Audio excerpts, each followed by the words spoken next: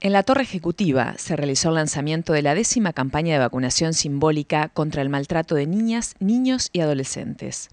Se trata de una iniciativa del programa Claves con el apoyo de INJU, INAU y MIDES.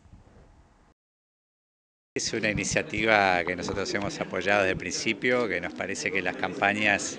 tienen esta peculiaridad que nos ayudan a todos a tomar conciencia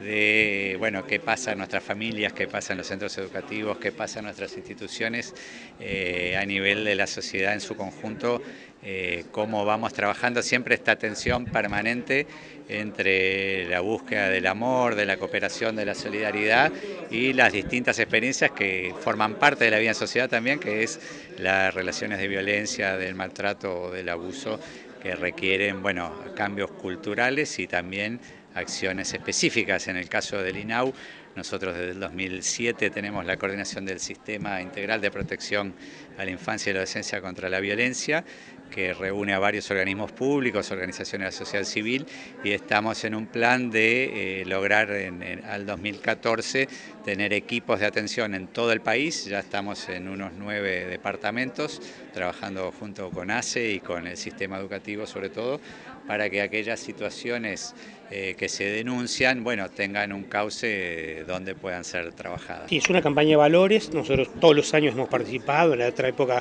como Ministro de Salud Pública y ahora como Ministro de Desarrollo Social, y yo creo que tiene dos, dos contenidos uno de forma y uno de, de, fondo, digamos. ¿no? Desde el punto de vista de contenido, de valores, cuando nosotros hablamos de una estrategia de vida y de convivencia, la convivencia es esto, es convivir con el otro y el convivir tiene que ver con el trato, con cómo uno tratamos, cómo tratamos al otro y tiene que ver justamente el buen trato como eh, oposición a,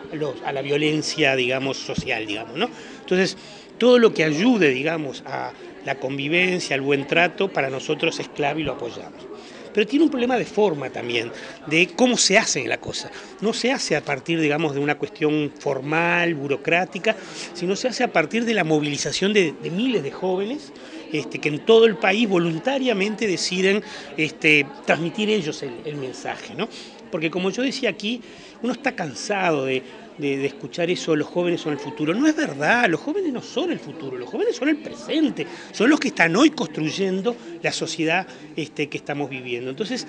por su forma y por su contenido, este, el MIDES y en particular el Instituto Nacional de la Juventud, que tiene dentro de sus responsabilidades las políticas públicas en materia de, de adolescentes y jóvenes, es que nosotros este, hemos apoyado esto, no solo estando hoy aquí,